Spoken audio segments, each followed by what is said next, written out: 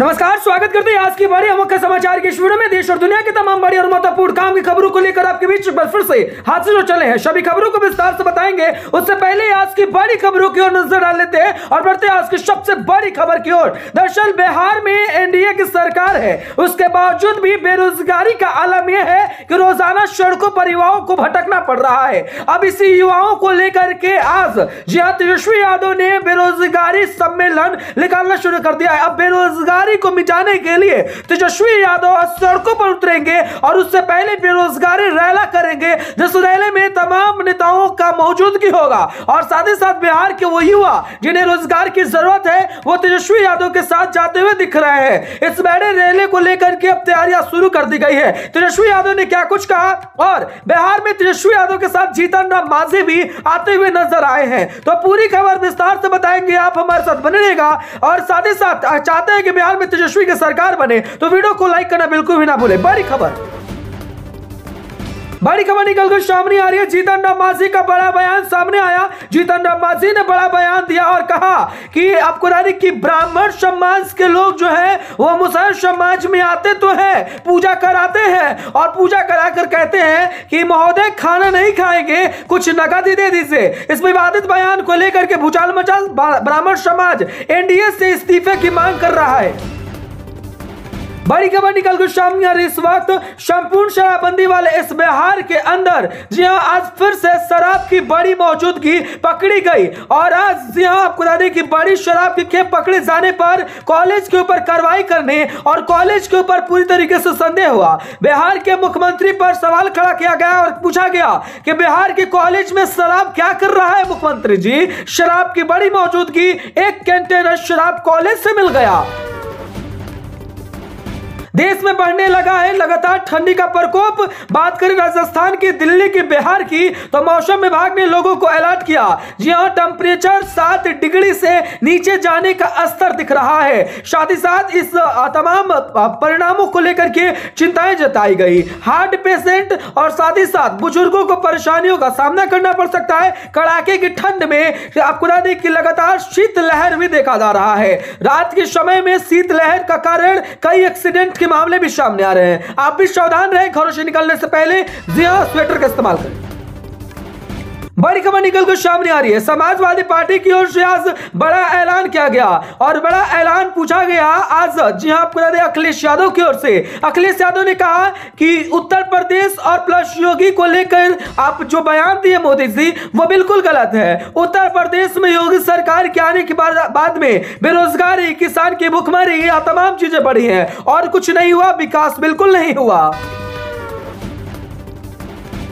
बड़ी खबर निकलकर सामने आ रही है। बिहार के सुपरस्टार अक्षरा सिंह का बड़ा लाइव सामने आया है और इस लाइव में उनके द्वारा भोजपुरी के चल रहे, भोजपुरी इंडस्ट्री में चल रहे विवाद पर उनके द्वारा जमकर हमला किया गया। उनके द्वारा कहा गया दो चार गाने हिट करने से कोई अपने आप को सुपरस्टार बताता है तो सुपरस्टार नहीं हो जाता। सुपरस्टार उसे कहते हैं जो लोगों के दुख और सुख में काम भी आए। सुपरस्टार भोजपुरी के लिए सींचे और खींचे हैं। ना कि सुपरस्टार जो कि अपने आप को सींचने और खींचने के दावों को कर रहे हैं यह बिल्कुल भी नहीं है। बड़ी खबर इस वक्त। बड़ी खबर निकल कर सामने आ रही है। बिहार के पंचायत चुनाव के बाद में अब शपथ ग्रहण की बारी है। मुखिया, वार्ड सरपंच और जिला परिषद की शपथ ग्रहण अभी तक नहीं हुई है। शपथ ग्रहण समारोह को लेकर के तैयारियाँ की जा रही है। नए साल पर शपथ ग्रहण का आरंभ हो सकता है और नए साल में लोगों को कार्यभार सौंपा जाएगा।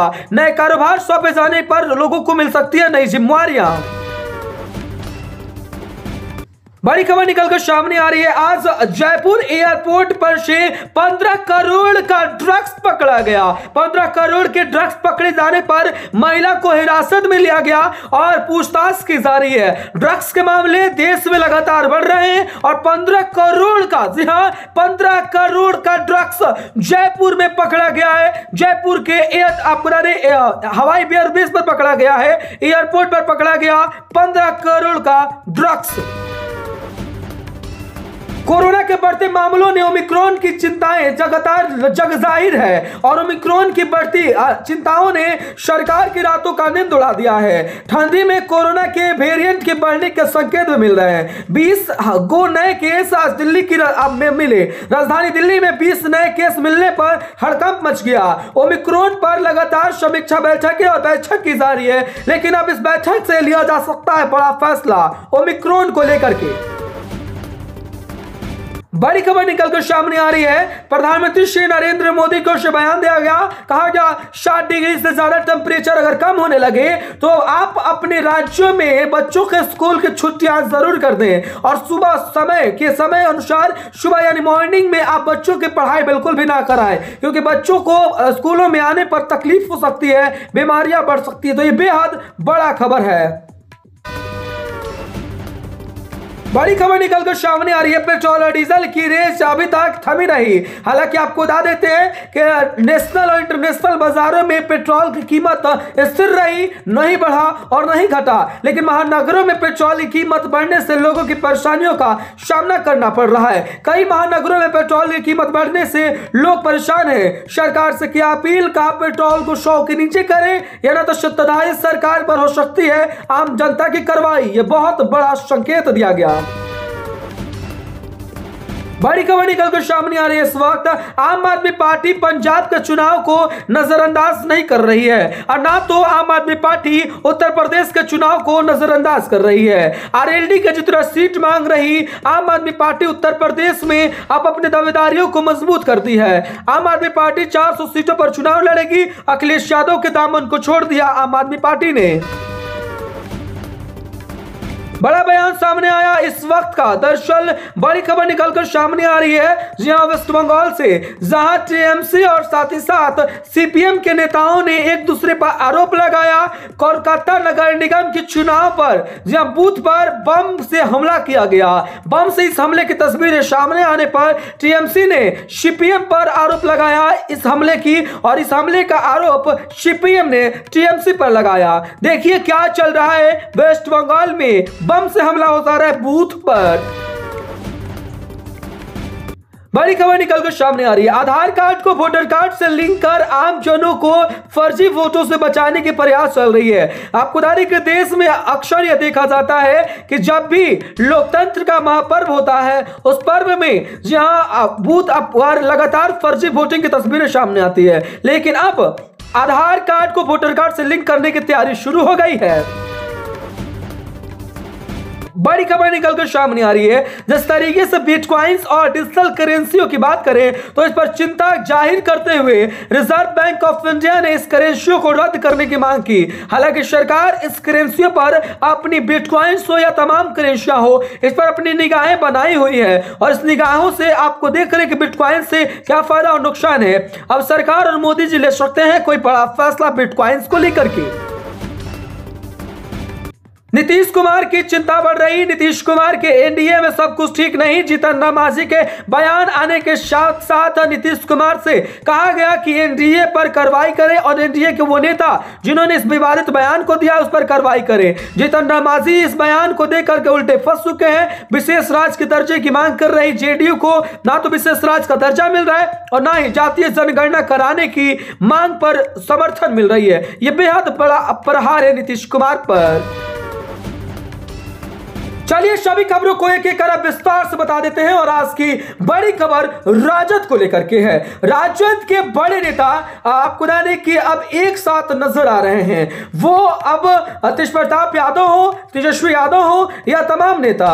अब नेताओं के आवागमन के साथ साथ तेजस्वी यादव की शादी हो चली है और इसी के साथ तेजस्वी यादव को इस शादी की हार्दिक बधाइयाँ देने उनके घर पर तमाम नेताओं का आगमन भी हो रहा है। लेकिन इस दौरान आने वाली कुछ तस्वीरों ने अब राजद परिवार को एक बार फिर से खुशियाँ में भरने का मौका दिया है, क्योंकि आज आपको बता दें कि टीएम आपको लगातार पूर्व एमएलसी भाजपा के सिवान ज़िले से रहे, आज बड़ा बयान दिए थे इसी चैनल पर और उनके द्वारा कहा गया कि अगर जीतन राम मांझी को भारतीय जनता पार्टी निकाल देती है और भारतीय जनता पार्टी यह साफ़ तौर पर पेश कर देती है कि उसका मुख्यमंत्री बनाना है तो वह मुख्यमंत्री पंद्रह दिनों के अंदर बना देंगे। यानी साफ़ है कि भारतीय जनता पार्टी क्या आरजेडी के साथ आ सकती है? क्योंकि आरजेडी के फ़िलहाल फेवर में आपको बता दें कि टूना जी पांडे हैं और टूना जी पांडे ने इस बड़े बयान को देते हुए जग ज़ाहिर कर दिया कि अब कहीं ना कहीं भारतीय जनता पार्टी अगर आने की इच्छा ज़ाहिर करती है